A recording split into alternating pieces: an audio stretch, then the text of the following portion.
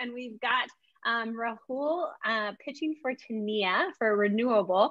Uh, fun fact on me, I once slept on Tinia's couch and now oh. I'm so excited to use all of their amazing products.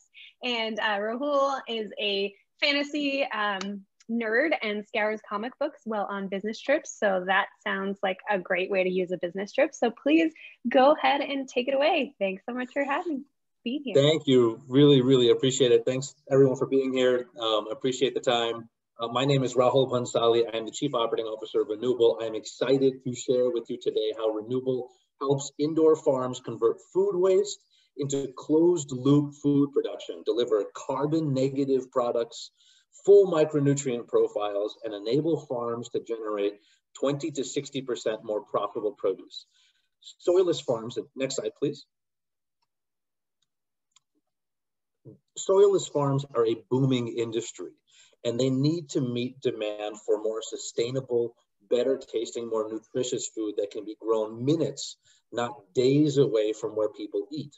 We turn soilless, soilless farms carbon negative by nearly two tons of CO2 per acre per year, rather than where they are today, which is they're carbon positive. They, they release more CO2 equivalents of at least three tons per acre per year. Next slide, please. So current organic alternatives, they don't work. They cause biofilm, algae, they jam up sensitive soilless farming methods. They cause food safety risk. We, on the other hand, have figured out a way to crack that code um, that people have been trying to crack for the last 20 or so years.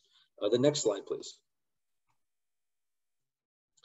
Each of these farms has validated their need directly with us for our products, and some of which we're already contracted with.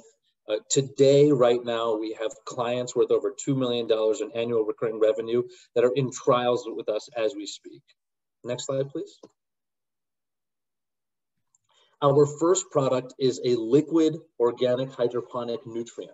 And this increases the profitability of our soilless farms by 20 to 60% by enabling organic production, which was previously unreachable for organic uh, soilless farming, or excuse me, for soilless farming.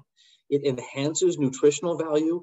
It enables flexibility that did not exist before because we're literally introducing something purely natural into what has typically been a very synthetic growing process. We enable the tolerance to higher and lower ambient air temperatures, thus more control over energy savings for those farms that we work with. Next slide, please. Uh, this is a case study. I'm happy to dive into that a little bit more on the uh, on the deeper dive call, um, uh, where we've actually demonstrated a lot of the a lot of these points uh, with plant to play. Uh, next slide, please. Consumer grow systems are a major part of our client base. They represent very high margins. Our product performs. We get great reviews like this one, where in one week we've revitalized dying crops in a lettuce grow system um, to just spectacular uh, uh, reviews. Next slide, please. The competitive landscape is such the majority of the, the dominant, the market dominant fertilizer that's out there are synthetic nutrients, which is the middle, uh, which is master blend in the middle. They are low cost. Mine on the other side of the planet have a massive carbon effect. Preem is the other alternative. It's an organic fertilizer. It's much more expensive. It doesn't deliver the CO2 savings that we do or the nutritional value like we do. Uh, I'm so sorry to cut you off. It looks like there's an enormous circle of market opportunity, and um, we are unfortunately out of time.